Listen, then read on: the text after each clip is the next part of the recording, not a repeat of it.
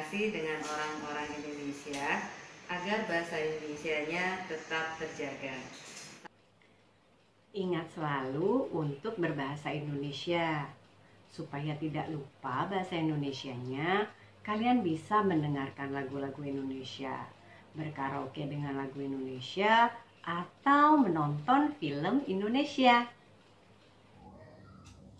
Supaya tidak lupa bahasa Indonesia, yuk cari pacar orang Indonesia.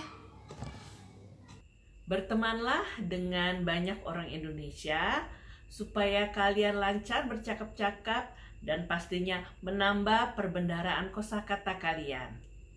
Kalau ada kesulitan dalam berbahasa Indonesia, jangan ragu untuk telepon atau berbicara dengan kami di STB Alia Jakarta. Kalian yang sudah belajar bahasa Indonesia, jangan lupa banyak-banyak membaca buku berbahasa Indonesia. Kenapa?